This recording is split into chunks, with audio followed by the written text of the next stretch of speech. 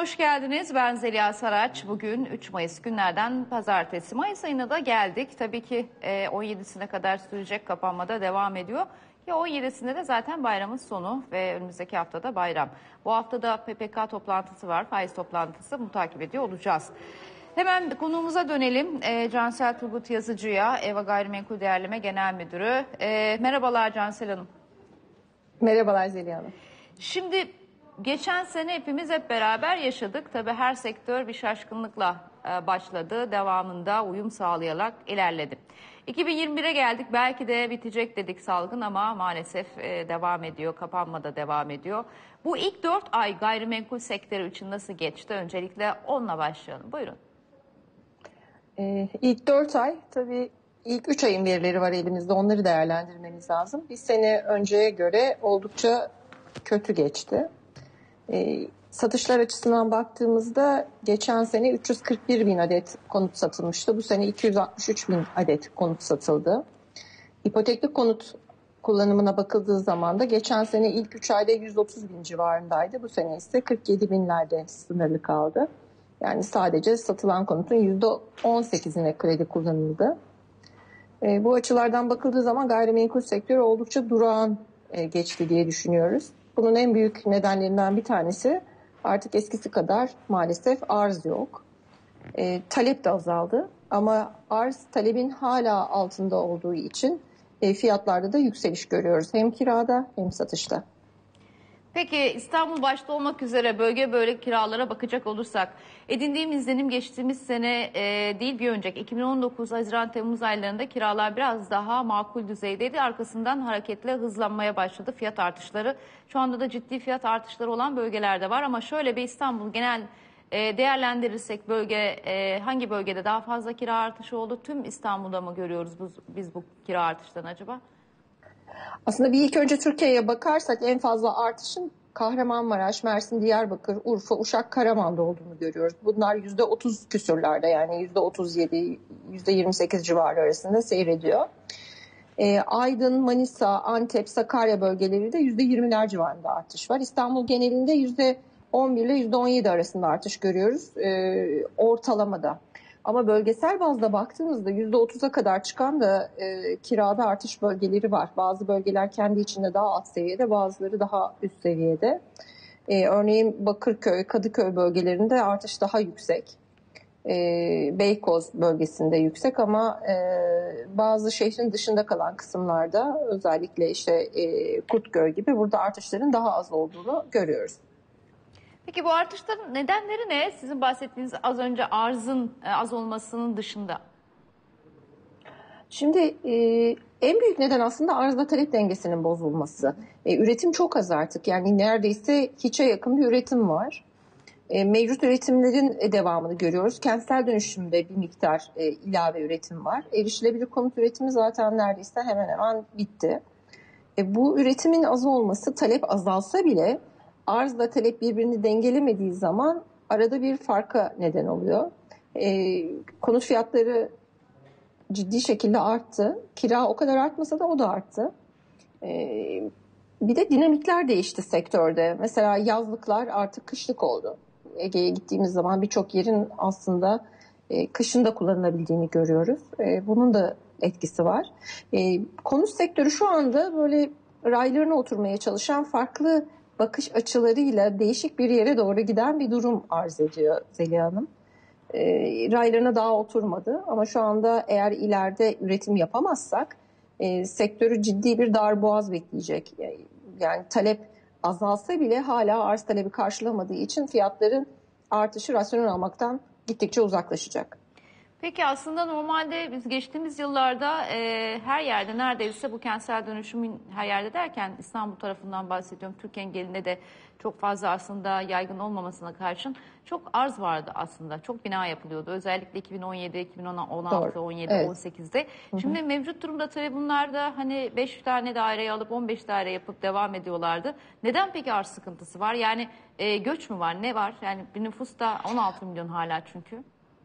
Hayır hayır göç yok ama şimdi ar, her, Türkiye'de her zaman bir konut ihtiyacı var. Çünkü nüfus büyüyor, hareketlilik var nüfusta yer değiştirmeler nedeniyle. E, talep azaldı, evet doğru yüzdesel olarak azaldı ama arz aynı şekilde artmadığı için taleple arz birbirini dengeleyemiyor. Şimdi kentsel dönüşüme bakıyoruz, son derece sınırlı gidebiliyor. E, güvenilir müteahhitlere ancak e, oldukça zor şartlar altında inşaat yapabildiklerini görüyoruz. Maliyetler yükseldi. Satış e, ve kiralamada önünü görmeyen bir sektör var. E, büyük projeler yapılmıyor. Erişilebilir konut üretimi zaten yok denecek kadar azdı. Yine azaldı, yine yoklaştı. E, bir de büyük projeler yapılmadığı zaman konut ihtiyacı yani şehrin dinamikleri de bundan etkileniyor. E, dolayısıyla arzla talebin birbirini düzeltmesi için şu anda bir gelişim görmüyorum. Konut projeleri özellikle çok böyle çabuk gelişen projeler de değil. En az iki yıllık perspektifte geliştirilebiliyor. Ortalama 3 ve 4 senede bitirilebiliyor. Yani bugün bir hareket etse sektör yani yeni bir proje yapılması, yeni bir inşaatın gerçekleşmesi minimum 24 ay. E, ruhsatın alınması, binanın boşaltılması, yeniden yapılması ya da sıfır arsaysa aynı şekilde devam etmesi inşaatın. Dolayısıyla bugün bir önlem alınmazsa önümüzdeki 2-3 sene içerisinde piyasa daha da darlaşacak. Evet talep azalacak ama arz talepten de daha fazla azaldığı için her zaman için bir sıkışma olacak. Bu da fiyatları e, olumsuz olarak etkileyecek. Peki 2021 yılının ilk çeyreğinde yabancıya konut satışına da bir bakalım. Nasıldı rakamlar? Özellikle bu pandemi döneminde zaten çok fazla seyahatin olmadığı insanların biraz kendi ülkelerinde içine çekildiği dönemde. Şimdi Türkiye'de genellikle yabancıya yılda 40 bin civarında konut satılıyor. 40 bin küsur. E, bunun içindeki körfez ülkelerinin payı e, aslında adetsel olarak yüzde 40'a yakını geçen sene yani 2020 e, yılında e, körfez ülkelerinin de. 2021'de ise bu rakam biraz düştü yüzde 35'lere geldi. E, alansal olarak baktığımızda yani adetsel değil de bu ne kadar alan aldı bunlar diye baktığımızda o da %24'ten %18'e geriledi. Yani ortalamada alınan büyüklük yatırım hacmi düştü diye düşünebiliriz. İlk 4 sırayı İran, Irak, Rusya ve Afganistan e, vatandaşları alıyordu. Bu sıra hiç değişmedi 2020 ve 2021 arasında. E, dolayısıyla aslında hani toplam yılda 1,5 milyon konut satılıyor Türkiye'de. Onun 40 e, bin küsur yani %3'ü gibi ortalamada bir rakam yabancı tarafından satın alınıyor. Bu rakam da çok değişmedi. Peki en çok hangi illere e, yayılıyor yabancının konut alımı acaba? E, yabancının konut alımı tabii İstanbul, Trabzon, Bursa gibi illerde e, yoğunlaşıyor. İzmir onu takip ediyor. E, biraz daha yaygınlaştı. Eskiden daha çok kıyı şehirlerindeydi. Şimdi Anadolu'da da bazı şehirlerin işte Uşak gibi, işte Ankara gibi e, biraz daha sıraya girdiğini görüyoruz. Konu satışlarının ne kadarı peki e, vatandaş edinimi için gerçekleşiyor? En azından bu Evet, evet. Buyurun. Bu enteresan bir şey. Şimdi İstanbul'la Türkiye'nin dinamiği farklılaşıyor. Hmm. İstanbul'da ortalama %38'i vatandaşlık için. Yani alınan her 10 konutun 4 tanesi neredeyse vatandaşlık için alınıyor. Ama Türkiye geneline geldiğimiz zaman, Türkiye ortalamasına baktığımız zaman bu rakam 5'te 1'e düşüyor. Yani %23'lere düşüyor. Peki çok teşekkür ediyorum Cansel Hanım verdiğiniz bilgiler için. Ben size. teşekkür ederim.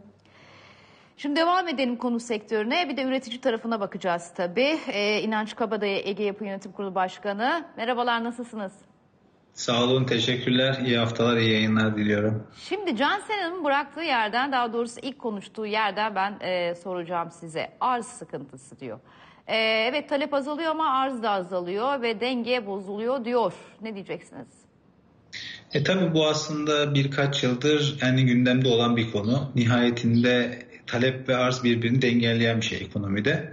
Arzın azalması da tabii ki nitelikli konuta ulaşma noktasında bir miktar zorluklar çıkarabilir önümüzdeki dönemde. Geçtiğimiz hem bir yıllık pandemi dönemi, bir önceki yılda da TÜİ'nin verilerine baktığımızda yeni ruhsatlarda da ciddi bir düşme oldu. Bu da önümüzdeki dönemde nitelikli konuta ulaşmak için gerçekten önemli bir darboğaz oluşturabilir.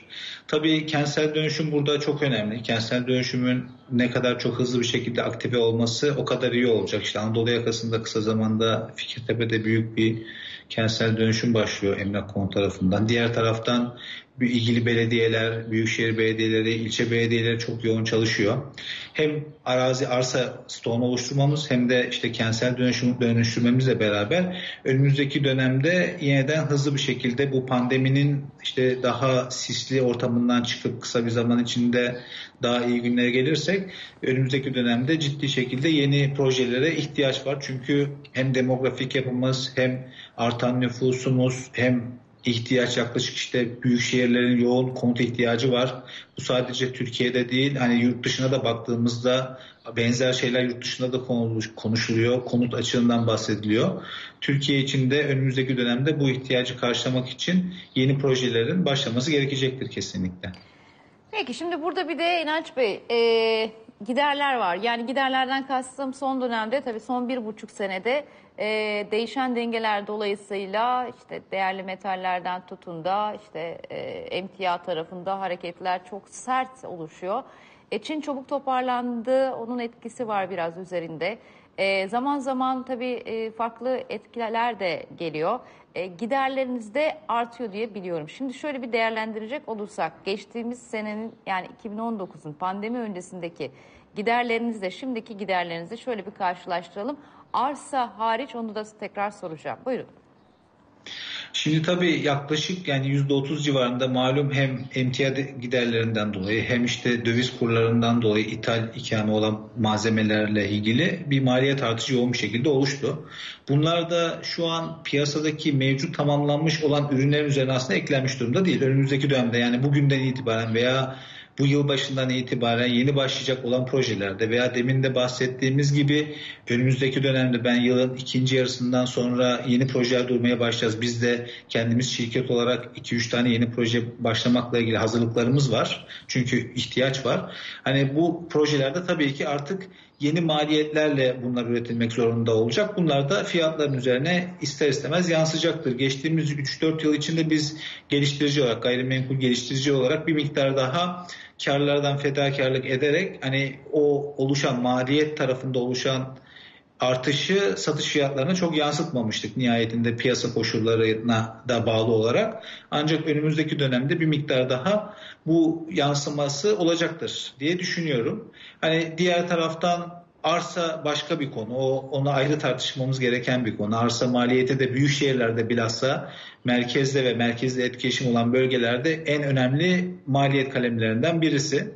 Burada da yeni arsa stoğu ne kadar kolay oluşturulursa o kadar yoğun bir şekilde ilgi olacaktır. Bir de demin yine yayında konuşulan ikinci ev olup da eskiden şu an bu pandemi sebebiyle birinci eve dönmüş olan yani büyük şehir dışındaki daha turizm beldelere veya iklimi daha uygun olan bölgelerde de gayrimenkul yatırımları çok arttı. Bilhassa geçtiğimiz bir yılda olağanüstü bir talep oluştu. Bu talep de önümüzdeki dönemde birkaç yıl daha en azından ben süreceğini öngörüyorum. Yani bu iki tarafı düşündüğümüzde hem pandemi sonrası hem büyük şehirlerde hem işte bu bahsettiğimiz tatil beldelerinde daha hızlı bir hareketlilik olacaktır. Bunlar da tabii ki fiyatların üzerine yansıyacaktır. Bir taraftan kredi maliyetleri de var tabii ki malzemede oluşan maliyetler dışında kredi maliyetleri de var. Bunların hepsini üst üste koyduğumuzda fiyatları yukarı doğru tedrici olarak hemen kısa bir zamanda olmaz ama zaman içinde artışına sebebiyet verecektir. Peki başka bölgelere sizin yatırımınız olacak mı? Çünkü genelde işte İstanbul ve büyük şehirlerde bu kentsel dönüşüm döneminde çok fazla talep olduğu için e, konut geliştiricileri buradaki e, yerleri tercih ediyorlardı. Ama bu pandemi bize farklı bir hayatında olduğunu gösterdi. Yani özellikle İstanbul çevresi, Ankara çevresi, İzmir çevresi yani büyük şehirlerin etrafında e, oluşacak yeni alanlar görecek miyiz? Hatta sizin de yatırımlarınız olacak mı Türkiye'nin genelinde? Biz yani geçtiğimiz yıl pandemi döneminde iki tane proje teslim ettik. Bu yıl da yine sonbaharda üç tane projemizin teslimini planlıyoruz. Üç tane projemizi teslim edeceğiz. Demin de bahsettiğim gibi hala hazırda çalıştığımız İstanbul'da üç tane projemiz var. Bu yılın sonuna doğru en az ikisine başlamayı planlıyoruz ve İzmir ve Muğla'da da yine bahsettiğimiz tatil beldelerinde de yine projelerle ilgili adımlar atıyoruz. Önümüzdeki yılın ilk çeyreğinde en az bir tane tatil beldelerinde de yeni proje başlama hedefimiz var. Aslında hedeflerin üstünde bunlar da var. Çünkü nihayetinde bizim sorumluluğumuz tüketicilerimizin eğilimleri, tüketicilerimizin taleplerine uygun ürünü üretmemiz lazım. Biz de bu dönemde o talebi net bir şekilde görüyoruz. Müşterilerimizden bu yönde de talep geliyor. İşte İstanbul'da projelerimizden yatırım yapmış olan veya uzun yıllardır bizim projelerimize yatırım yapan müşterilerimiz işte bir Bodrum'da, İzmir'de, Çeşme'de, e, veya işte Marmaris'te, Göcek'te projeleriniz var mı diye sormaya başladılar. Biz de tüketicilerimizin bu taleplerine uygun bir şekilde adımlar atıyoruz. Peki şimdi e, lüks konutlar ve orta sınıf ve alt sınıflar şeklinde e, bir e, genel değerlendirme yapacak olursak arz açısından soruyorum bana tamamen bunu. E, bir dönem fiyatı belli oranda yani 300 ila 600 bin olan e, daireler kalmıyordu. Çünkü tam böyle e, orta gelire.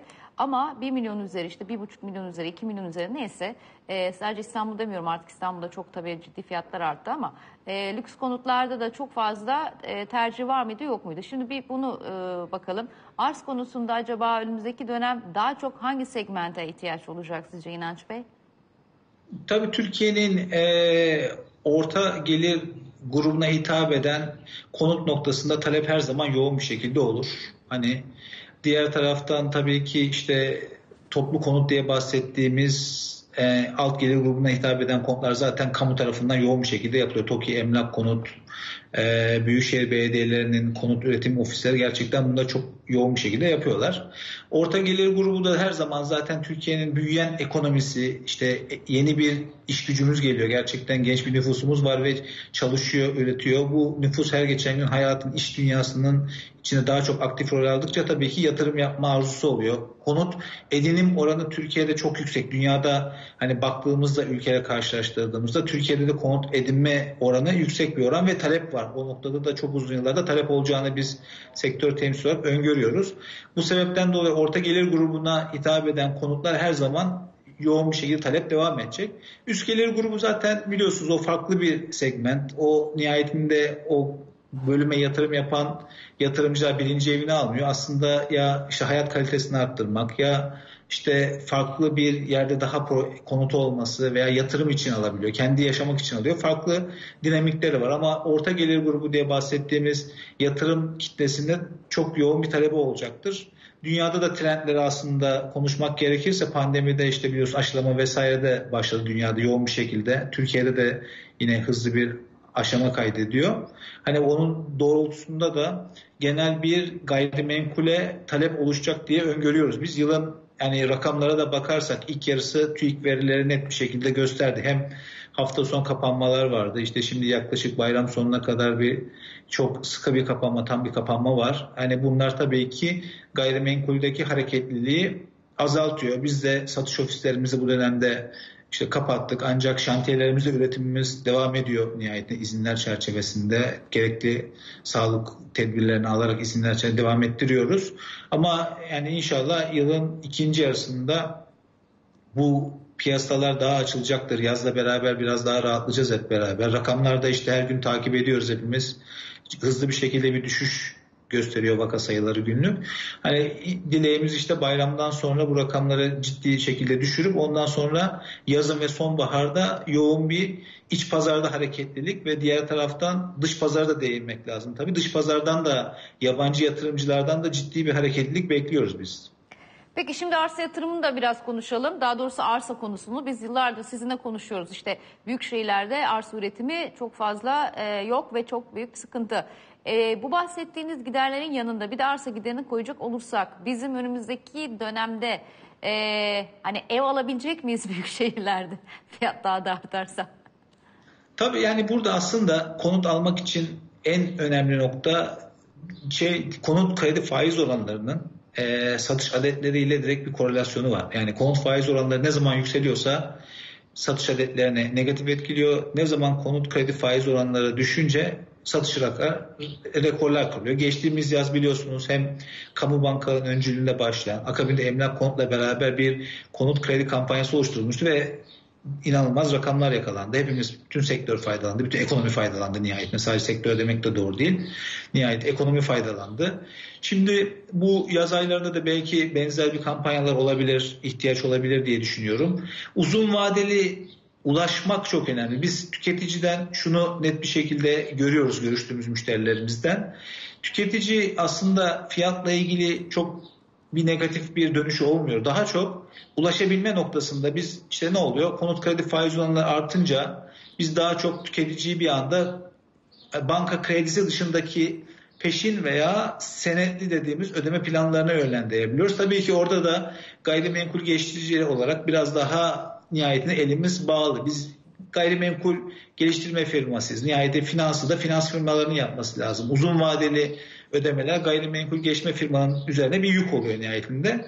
Bu sebepten dolayı işte ne oluyor? Firma vadeli 48 ay, 60 ay, 30 ay, 72 ay yapan firmalar var. Hani daha bir miktar daha kısalı süreler oluyor ama diğer taraftan konut kredi faiz oranlarının dileğimiz işte önümüzdeki dönemde belki yaz aylarında düşmesiyle beraber veya bir kampanya olmasıyla olursa eğer hani bu dönemde o zaman ne olacak bir anda uzun süreli borçlanınca yatırımcılarımızın, müşterilerinin, tüketicinin ödeyeceği taksit bedelleri düşecek ve talep ettiği, arzu ettiği ürüne daha kolay ulaşabilmesini sağlayacak.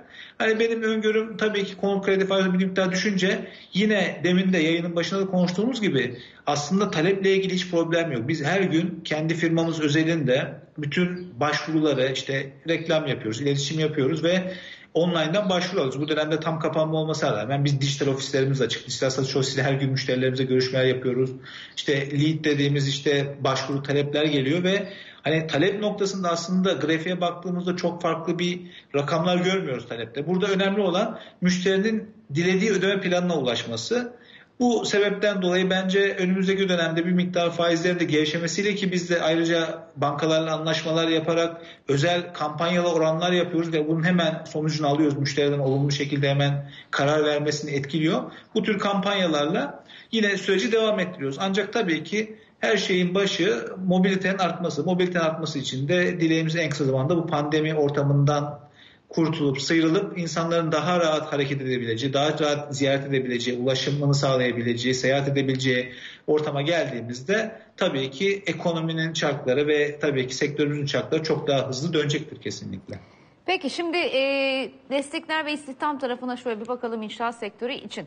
Şimdi hizmet sektöründe ciddi sıkıntılar var. Esnafta da aynı şekilde bu kapanmalarda yara aldılar. Devamlı bunu merkez ekranlarında kendilerini ağırlıyoruz zaten ve temsilciler de, sektör temsilcileri de anlatıyorlar. Peki inşaat sektörüne bir bakalım. E, hizmet sektöründe mesela vasıflı insanlar e, bir memleketlerine gitti diyorlar ya başka işlere gitti diyorlar. Dolayısıyla açılmalar gerçekleştiğinde eleman kalitesini sağlayacağız. Artı şimdi e, fesih yasağı var uzadı. Geçoyo var uzadı. Şimdi bunların da biraz etkisini var ama gecikmeli etkisi istihdam piyasası üzerinde nasıl olur? İnşaat sektörü açısından soracağım size. Siz de e, kendi firmanızda istihdamı e, sağlarken hangi zorlukları yaşadınız? İşten çıkarma zaten yoktu. Bir de destekler açısından e, sektörlere daha fazla destek ihtiyaç destek ihtiyacı e, yok mu acaba? Hani bir düzenleme, bir başka daha destek e, yapılabilmesine adına. Çünkü siz de bir şekilde üretim gerçekleştirirken e, tedarikçilerinize e, başvuruyorsunuz ve tedarikçilerde işler azaldığı için daha e, fazla gelir elde edemiyorlar. Onların mesela desteklenmesi açısından hem istihdam hem destek.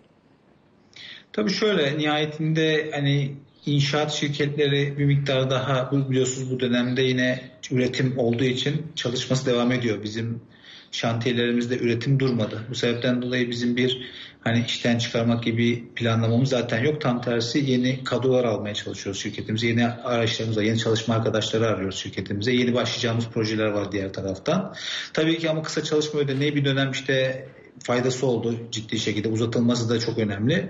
Gayrimenkul sektörü özelinde konuşmak gerekirse benim fikrim daha çok işte demin de bahsettiğim gibi işte konut kredi faiz oranlarında bir e, indirim bir sübvansiyon olursa aslında tüketicinin kolay ulaşması açısından ve hani ekonominin ve şirketlerin daha sağlıklı büyümesi açısından önemli bir nokta. Diğer taraftan işte KDV konusunda belli sektörün talepleri var. Geçtiğimiz yıl var sadece bu yılda değil geçtiğimiz yıldan beri işte KDV noktasında taleplerimiz var sektör olarak düşürülmesi noktasında. Tapu alım satım harcına belli bir dönem bir teşvik sağlanmıştı. Tapu alım satım harçları şu an biliyorsunuz %4 civarında alım satım. Onlarla ilgili daha bir yani sabit bir oran 2, 1 gibi oranlar talep edilmişti.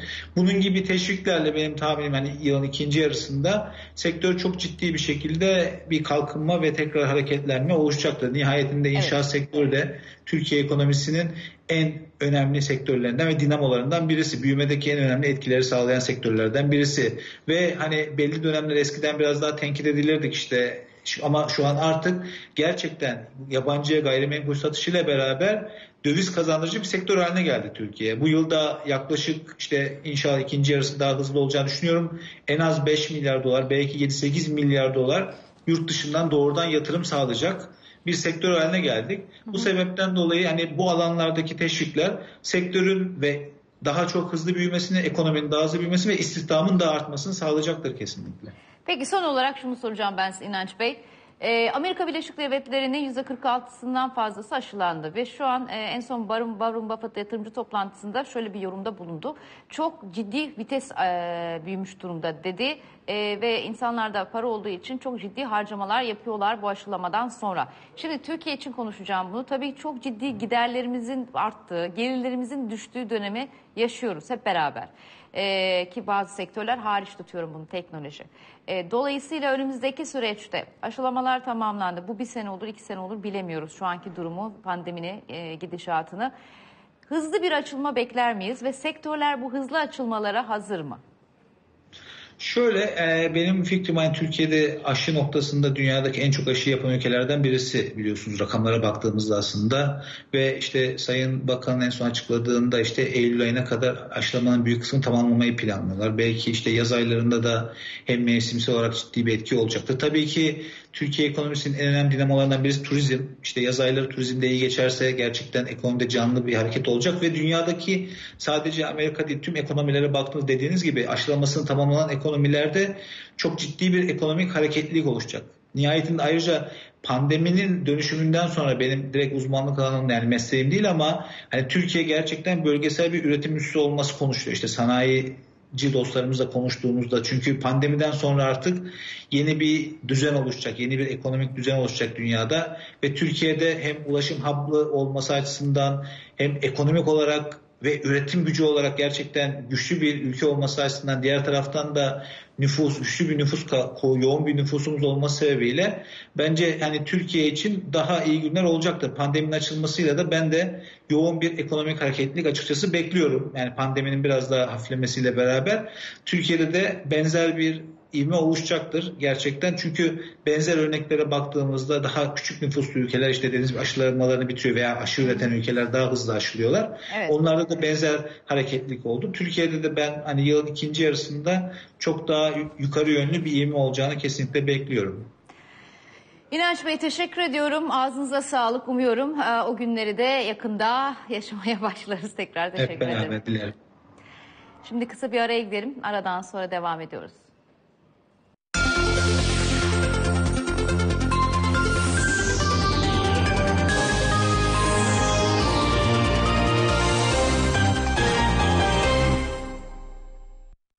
Devam ediyoruz. İç dünyasına şimdi biraz turizm sektörünü konuşacağız. Serdar Karcılıoğlu karşımda. Serdar Bey iyi günler diliyorum, iyi yayınlar. İyi günler Zeliha Hanım. Ben de size iyi yayınlar diliyorum. Şimdi bu kapanma döneminde e, gördük ki İstanbul'dan o bölgelere e, ciddi akın olduğu en azından rakamlar bunu gösteriyor bize. E, öncelikle bunu bir değerlendirelim isterseniz. Herhalde ayın 17'sine kadar orada kalacaklar. Evet e, Zeliha Hanım şöyle e, bir durum var. İsterseniz şöyle bir e, önemli bir tespiti yaparak Buyurun. başlayayım. Sonra Buyurun. bunu buna bağlayayım e, konuyu. E, son 30 yılda sağladığı net döviz girdisiyle cari açığın kapatılmasında ayrıca istihdama sağladığı büyük katkısı ve yaklaşık 52 farklı sektörle e, yarattığı etkileşimiyle ekonominin lokomotifi olduğu her kesimce belirlenmiş bu sektörü ayakta tutmak bir kere öncelikle bütün hükümetlerin stratejik önceliği olmalıdır. Bir kere bu tespiti yaparak başlayalım. Ne yazık ki niye bunu söylüyorum?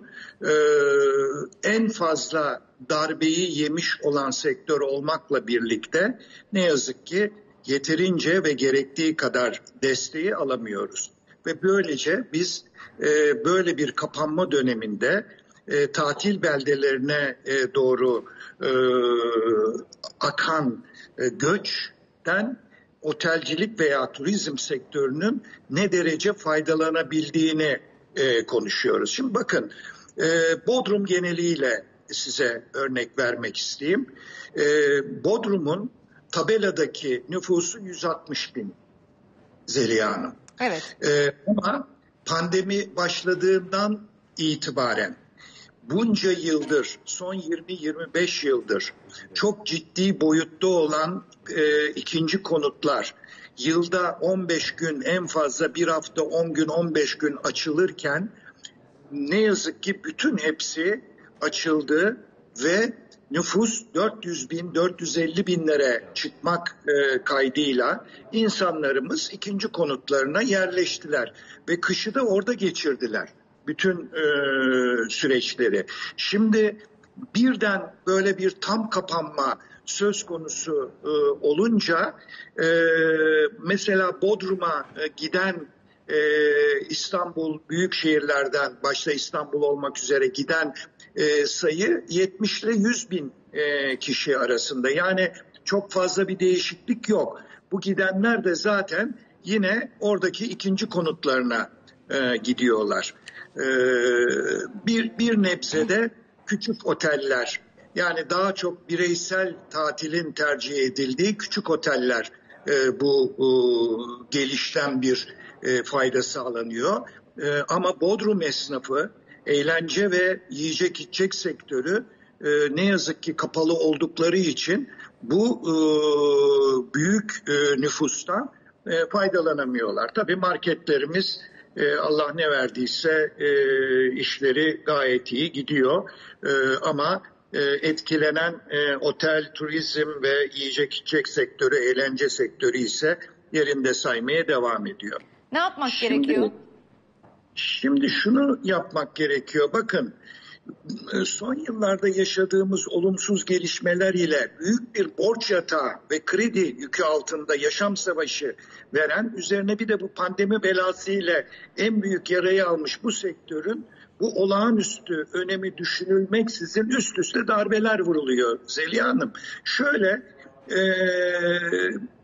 bütün kesimlerce 2021'in başta Rus turizmi olmak üzere Avrupa'dan da e, geleceklerle gayet iyi gidic- geçeceği ümit ve umutları pompalandı. Bu insanlar zaten psikolojik e, sıkıntı içindeler. Borç yükü altındalar. Bu tür e, beyanatlara bakarak otellerini hazırladılar ve ilk olarak da e, şu e, şeker bayramını Ramazan bayramında en azından sezonda yerli turizmle de e, olsa, iç turizmle de olsa bir nebze borçlarından kurtulabilmek e, ve e, sezonda yaşanabilecek bir iç turizm e, operasyonlarında daha bir moralli girebilmek e, adına e, bütün beklentileri bu bayram süresiydi. 5 gün 6 günlük insanların tatile olan aç durum açlık durumlarını da e, düşünerek bütün otel sektörü e, hedefini bu bayrama almıştı. Şimdi siz gelip burayı pat diye kapatırsanız bu insanlar iyice e, artık e, ölüme e, mi terk edildi e, diyelim e, bunu e, sizlerin değerlendirmesine e, bırakıyorum. E, onun için e, bir de anlayamadığımız bir şey var turizmciler olarak bir tam kapanmadır gidiyor ama bu kapanmaya baktığımız zaman bu tamamen turizm sektörüne yönelik. Tabii ki e, sanayimiz, e, tarımımız e, çalışsın. E, bunlara bir şey demiyoruz. Çalışmaları da gerekir zaten ama e, ekonomimizin durmaması açısından e, önemli faktörler bunlar. Ama bırakın biraz da turizm sektörüne bir e, destek e, Peki. verilsin. Peki Serdar Bey benim merak ettiğim... destek hiçbir destek. Evet buyurun. Benim merak ettiğim bir de bir konu var. Şimdi insanlar bu pandemi dolayısıyla e, korktular. Herkes korkuyor işte evinden evdeler. E, tatilini yapmak isteyen illaki geçen seneden gördük işte ya küçük ev ya e, müstakil bir ev ya tekne ya karavan ya işte ne bileyim e, çadır. Şimdi böyle bir değişen bir durum söz konusu turizmde öyle görünüyor. Bu da uzun sürecek gibi duruyor bu korku açıkçası. Acaba e, turizm sektöründe bu e, tüketici alışkanlıklarının değiştiğini öngörerek yeni bir oluşuma mı gitmek gerekiyor? Bu oluşuma giderken de az önce bahsettiğiniz destekler alınarak ne bileyim vergi desteği mi olur, bu istihdam desteği mi olur, hibe desteği mi olur bilemiyorum. Bu dönüşümü sağlamak için topyekun bir turizm dönüşümü e, programı yapılsa daha cazip olmaz mı? Çünkü e, yurt dışından yabancı dahi gelse büyük otellerden ziyade muhtemelen artık e, böyle butikleri tercih edecekler gibi duruyor. Şu, eta- şu etapta tabii bilmiyorum yani biz bilmiyoruz onları e, sosyal bilimciler bilir ama buyurun. Doğru, doğru, doğru, doğru, çok doğru bir tespit yaptınız Zeliha Hanım.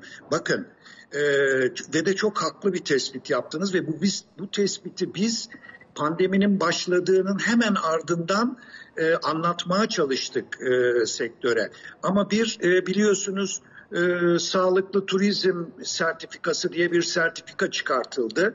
Sahada olan kişiler olarak dedik ki arkadaşlar bu sertifika, bu önlemler insanlara yeterli gelmiyor. Çünkü bu e, 130-140 maddelik e, sistemin sahada uygulanabilirliği yok. Bir kere bunun en büyük e, sıkıntısı her şey dahil sistem Zeliha Hanım.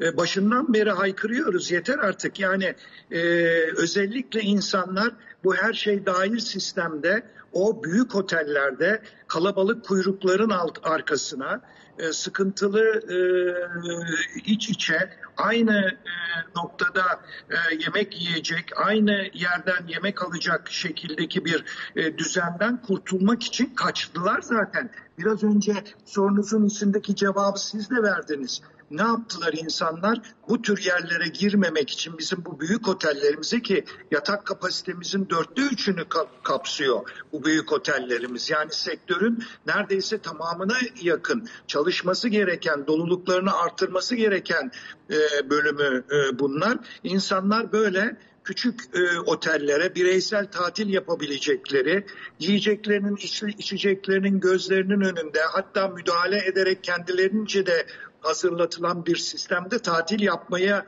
e, yönlendiler. Biz hep e, işte çok bu e, sağlıklı turizm sertifikası çok e, güzel oldu. Bütün dünya bizi takip ediyor filan dedik ama işte e, alınan sonuçlar ve gelinen nokta ortayı da e, gösteriyor. İnsanların buralara e, bu tür Evet. oteller gitmediklerini. Alınacak önlem şu. Buna da biz bir önlem getirdik. Dedik ki e, çünkü yatırımcımız biraz korkuyor her şey dahil sistemden çıkmak için. E, tur operatörleri burada bir baskı unsuru oluşturduklarından dolayı e, dedik ki o zaman eğer çıkamıyorsak gelin yeni bir e, düzenleme yapalım her şey dahil sistemde ve alakart all inclusive denen bir sistem yarattık. Biz dernek olarak çok önemli bir çalışma yaptık bununla e, ilgili. Şöyleydi bu büyük otellerimiz zaten var olan alakart restoranlarını e, hem de Anadolu'muzun e, gastronomi turizmine destek verecek e, şekilde bir Evet. türlü yurt dışına anlatamadığımız gastronomik değerlerimizi e, otellerde her yedi bölgemizin yedi ayrı restoranı olarak açalım. Her restoran bir e, bölgemizin dekoruyla, çalışanıyla, başındaki şefiyle oraları temsil eden e, şekilde olsun. Ve böylece turistler her gün e, bir yöremizin yemeklerini tatma Evet. e, imkanı bulsunlar. Dolayısıyla bunların menşelerini araştırıp bir sonraki tatillerinde de o yörelerimize e, giderek hareketliliği Anadolu'ya Son doğru. cümleyi de alayım ben Serdar Bey. Evet. Nasıl? Son cümlenizi de alalım. Sürem, sürem doldu çünkü. Buyurun. Benim bunlar e, Zeliha Hanım teşekkür ediyorum ama e, bu sektörün ayakta tutulabilmesi, pandemi sonrasında e, dünyanın parlayacak bir yıldızı haline geleceği söylenen bu sektörü kaybetmemek adına e, bu sektörü ayakta tutabilecek önlemleri alması lazım devletimizin. Bakın çok meşakkatle yetiştirdiğimiz profesyonellerimiz, emekçilerimiz, hı hı. dağ, taş, e, kış, kar demeden dolaşan turizm rehberlerimiz hepsi evet. e, işlerini ve hayatlarını kaybetmek doğru. E, üzerine. E, onun için e, bunları hı hı. E, ileriki dönemde oluşacak e, büyük bir turizm operasyonuna hareketliğine kaybetmemek gerekiyor. Peki. Bunun için yapılacak yegane şey devletin e, ayağı yere basan, elle tutulan desteklerle desteklemesidir. Desteklemesi sizi evet. Serdar Bey teşekkür ediyorum. Umuyorum sesinize duyulur. Şimdi Fikret Kileci'ye gideceğiz. Güneydoğu Anadolu İhracatçı Birlikleri Koordinatörü Başkanı Fikret Bey iyi günler, iyi yayınlar dileyerek başlamak istiyorum. Ben şimdi Ticaret Bakanı'nın açıklamaları var. İhracatta yeni rekor %18.8 ama ithalatta da artış var. Rakamları nasıl okudunuz, nasıl değerlendiriyorsunuz? Ee, Zeliha Hanım öncelikle çok teşekkür ediyorum. Çok sağ olun. Ee, alışık olduğumuz üzere Nisan ayında da her türlü e, zorluğa ve aksaklığa rağmen ihracat e, dört nala hakikaten ilerliyor. Ama bu şu demek değildir ki e, hakikaten bunu her platformda söylüyoruz. Evet ihracat çok çok iyi ama e, bizim şu anda savaştığımız ülke olarak, dünya olarak, insanlık olarak çok daha büyük mücadeleler var. Ama biz e, ihracat tarafında e, gayet iyiyiz. Bunun e, birçok sebebi var. E, yani çok önemli artışlar kaydediyoruz. Mesela ben kendi bölgemde yüzde yüzlerle ifade edilen rakamlar. Ülke çapında yine aynı şekilde bir önceki döneme göre e, ithalatın, ihracatın ithalatı karşılama oranındaki e, lehimize olan düzelmeler bunların hepsi e, belli konularda e, bizim çok iyi işler yaptığımızı gösteriyor. E, bunun da en önemli sebeplerinden bir tanesi e, ben her platformda anlatmaya çalışıyorum. Dünyanın en sağlıklı, en güvenilir, en emniyetli ve en uzun ticaret yolu tarihi İpek yoludur ve biz de bu tarihi İpek yolunun göbeğinde olan bir ülkeyiz. Ee, burada önemimiz jeopolitik ve coğrafi koşullarımız çok çok önemli. Bunun yanında beşeri sermayemiz çok çok önemli.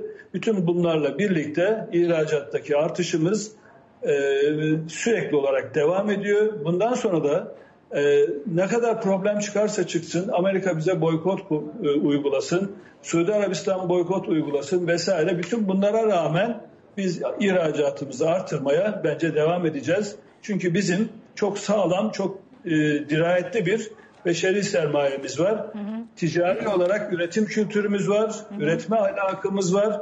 Bununla ilgili çok ciddi e, avantajlarımız var. Bunu da değerlendiriyoruz bence. Peki e, şimdi bu biraz da art, e, ihracattaki artışın e, nedeni pandemi dolayısıyla bu mevcut bahsettiğiniz en güvenli yol ticaret yolunun Türkiye etrafında olması mıdır? Biraz daha e, bu üretim tarafının kaydığını mı gösteriyor bize e, Türkiye'ye doğru? E, yoksa altında başka sebepler de var mı? Bir de ithalatta %61'in üzerinde bir artış söz konusu tabii ihracatla etkili. Bu ara mal ithalatı da e, maalesef bu mevcut geliri e, keşke hiç yapmasak da mevcut gelirin tamamı 18.8'i Türkiye'ye kalsa ama ne düşünüyorsunuz? Şimdi şöyle söyleyeyim, e, bizim ihracatımızın artmasındaki en önemli sebep e, az önce de bahsetmeye çalıştığım gibi biz ülke olarak üretici bir ülkeyiz ve yenilikçi bir ülkeyiz. Biz e, hiçbir zaman Çin, Hindistan, Pakistan vesaire bu ülkelerle ben ben bir tekstilciyim kendi sektörümle özellikle söyleyeyim. Biz onlarla hiçbir işimiz yok. Çünkü onlar yüksek volümlü, yüksek üretimlerle ama belli kalitelerdeki ürünü yapıyorlar. Biz şu güne kadar evet o işleri yaptık ama buradan sonra e, özellikle ülke çapında çok ciddi değişimler oldu. Kaliteli, sağlıklı ve düzgün üretim yapma alışkanlığını biz edinmeye başladık. Bunda da bu alışkanlığı edinmemizdeki en önemli faktörlerden bir tanesi bana göre pandemi süreci. Pandemi sürecinde birçok e, sektör, birçok kişi zarar gördü. Ama biz ülke olarak bu işten e, üreticiler olarak özellikle çok ciddi avantajlar ve menfaatler sağladık. bugüne kadar gör, görmediğimiz, yapmadığımız çünkü e, Zeliha Hanım siz de bilirsiniz herkes bunu çok iyi bilir ki işler yolundayken hiç kimse e, eksiklerinin peşinde koşmaz. Ama hal böyle olunca ortada bir e, değişik şartlar oluşunca herkes para kazanmak için farklı farklı e, yenilikler peşinde koşmaya başladı. Bu da bizim ülkemiz açısından özellikle altını çizerek söylüyorum ihracatçı açısından çok büyük artı sağladı. Evet. Biz dünya pazarına üretim yapan bir ülke haline geldik. Eksiklerimizi tamamladık. Bu pandemiden kendimize pay çıkardık. Özellikle ihracat tarafında. Peki şunu soracağım. Şimdi Nisan ayında piyamaya bakıyorum. İmalat sektörü tabii siz de dediniz ya üreten bir e, ülkeyiz. Evet. E, bir gerileme var Nisan ayında 50.4. E, Mart'ta biraz daha iyiydi. Bunu biz Mayıs, Haziran, Temmuz aylarında mı hissedeceğiz? Hissedilecek mi? İhracattaki bu e, devinimi devamını bekliyor musunuz süreçte, bu süreçte? Şimdi e, buradaki gerileme şundan kaynaklı. Biz e, maalesef aramalı ve e, emtia tedariğinde çok ciddi problemler yaşıyoruz. Gerek e, lojistik ka- e, kaynaklı gerekse de arz talep dengesindeki e, farklılıktan ve bir şekilde talep üzerindeki e, artış e, sebebiyle ham madde fiyatlarında çok ciddi artışlar oluştu. Petrol fiyatı yükselmiyor ama petrolden mamul ham maddenin fiyatı ciddi anlamda artmaya başladı. Bundan kaynaklı bu artışlar oluyor. E, bunun etkilerini e, evet göreceğiz ama e, zannedilen kadar değil. Şöyle Evet. söyleyeyim. Biz e, üretmeye ve üretip yine yu- yurt dışına im- imkanlar dahilinde ihraç etmeye devam edeceğiz. Çünkü ihtiyaç çok fazla. Şu anda talep var ama biz yeteri kadar arz edemiyoruz. Yani o talebi karşılayamıyoruz. Bunun birçok etkeni var, birçok sebebi var. İşte bir şekilde pandemiden dolayı çalışamamak var. Ee, Ondan kaynaklı bir şekilde dünyada pazarın kapanması var. Bugün yurt dışına her e, bir yıl öncesi gibi, iki yıl öncesi gibi çok rahat Evet, sevkiyatlar evet. yapamıyorsunuz. Doğru. Fikret Bileci çok teşekkür ediyorum e, verdiğiniz yorumlar için. Umuyorum önümüzdeki aylarda da bu tarz e, bu şekilde yüksek ihracat sağlayarak ilerleriz. Ülkemize de döviz girer. İş Dünyası'nın sonuna geldik. 19'da tekrar görüşmek üzere. Hoşçakalın.